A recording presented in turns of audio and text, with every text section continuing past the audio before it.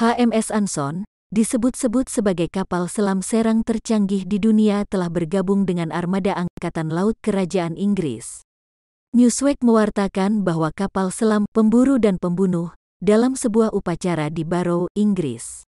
HMS Anson senilai 1,5 miliar dolar AS atau setara 22,3 triliun rupiah disebut-sebut menawarkan kekuatan pengintaian siluman dan serangan angkatan laut.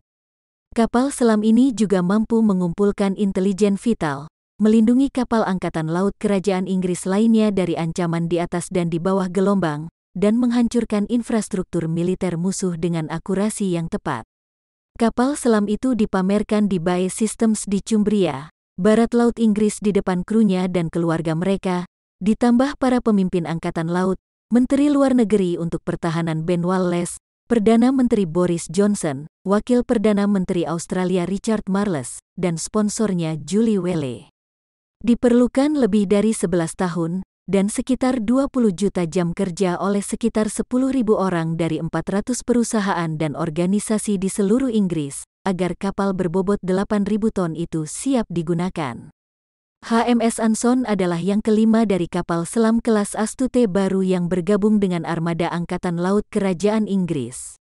Itu bergabung dengan HMS Astute, Ambush, Artful, dan Audacious. HMS Anson akan terus berlanjut untuk menjadi kapal selam kelas Astute terbaik, Komandan pertama kapal selam, Komandan David Crosby sebagaimana dilansir Newsweek.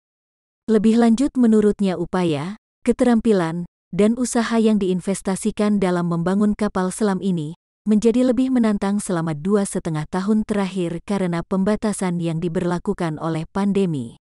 Saya sepenuhnya percaya dia akan sukses dalam operasi selama bertahun-tahun yang akan datang dan dicemburui oleh negara-negara di seluruh dunia.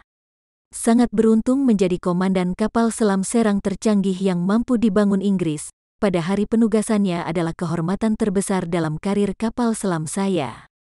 HMS Anson dipersenjatai dengan kombinasi hingga 38 torpedo Spearfish dan rudal jelajah Tomahawk Block 5.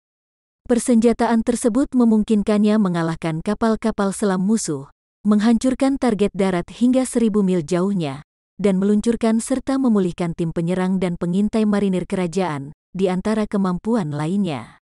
Mengingat dunia tempat kita hidup, tidak ada alat yang lebih penting di gudang senjata Inggris, senyap, tidak terlihat, dan instrumen utama Angkatan Laut Kerajaan kita yang global, modern, dan mumpuni. Menurutnya, HMS Anson adalah yang terdepan dalam desain dan konstruksi kapal selam. Ini memastikan keuntungan operasional di ruang pertempuran bawah air, domain siluman besar terkini.